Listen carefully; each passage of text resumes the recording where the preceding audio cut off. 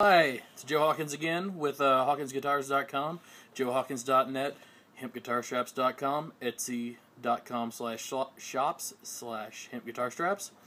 And I was going to show you another painted guitar.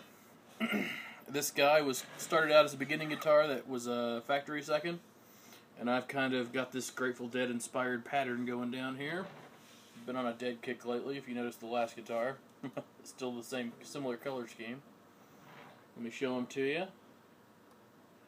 I like the back there. And the bottom. This guitar is kind of a smaller than normal one. It's an auditorium size. So it's a little thinner this way. A little smaller around this way. So you can, you know, a little more portable. But then it sounds thinner. That's, you know, the trade-off. I'll show you the, uh, let's play it for a second here.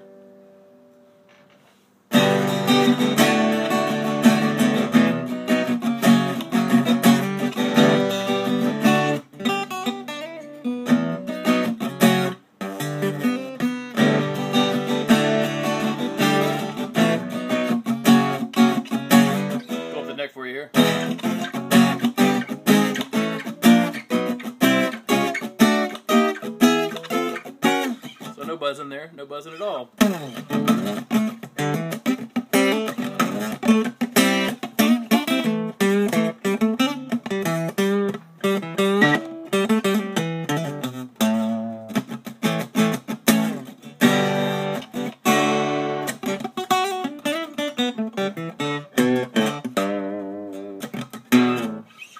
So, um, to get you get an idea of the action there for you. If I can line that up with the camera right, you can see it's a little higher action than a regular guitar.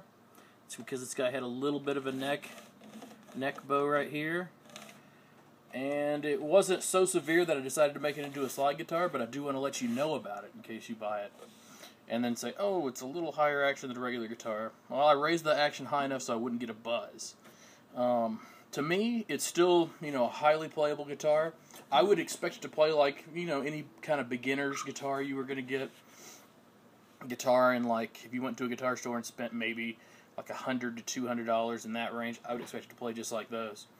Um, I've added an electronic system to this guy. And it's actually it's got a built-in tuner and everything.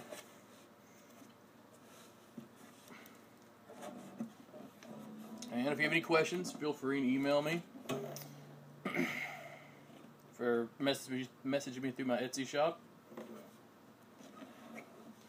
And I really appreciate you for watching. Have a good one.